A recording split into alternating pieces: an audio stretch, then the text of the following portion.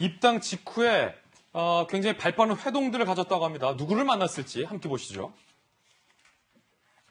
일단 약간 뭐 뭐랄까요 이 보수 야당에서의 어떤 대부 느낌이 된 이제 가파더 대부 김종인 전 비대위원장을 찾아서 조언 들었다. 50분간 만났다. 본격적인 만남인 거죠.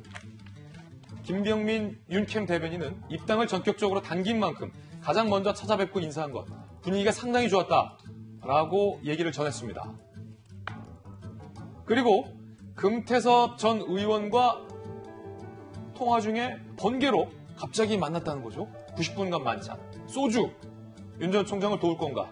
기분 좋은 만남이었다. 여러 이야기가 오갔다. 아, 이거는 뭐 돕겠다는 얘기로 해석이 되고 있습니다. 일단은 김종인 전 위원장 같은 경우는 박정환 대변인 네. 입당 그거 빨리 하지 마라.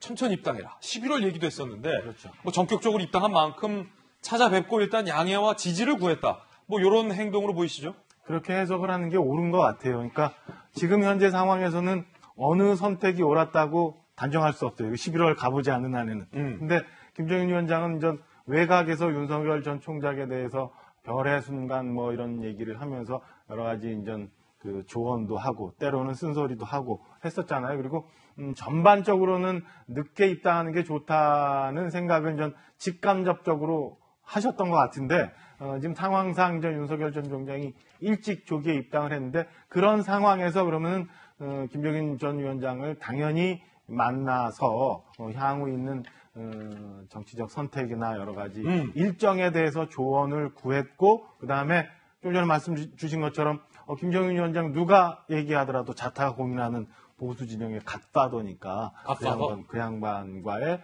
어, 일정한 교감을 만들려 했던 거 아닌가 그러면 됩니다. 왜 입당하는 시점에 이준석 대표가 없을 때 정치적으로 입당한 걸까요?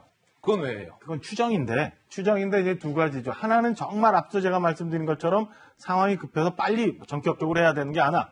두 번째는 글쎄 모르겠어요.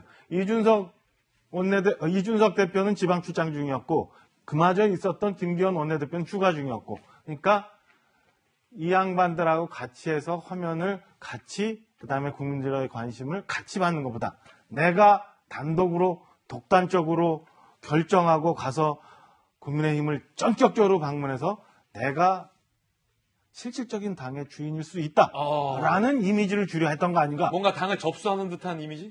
그렇죠. 그러니까 이게 뭐 이건 추정이니까. 근데 딱 갔을 때 많은 사람들이 좀 환영하고 면 대표보다는 그래도 차기 주자, 이제 뭐 이런 이미지를 주려고 했던 거 아닌가라는 측면도 저는 있다고 해석을 합니다.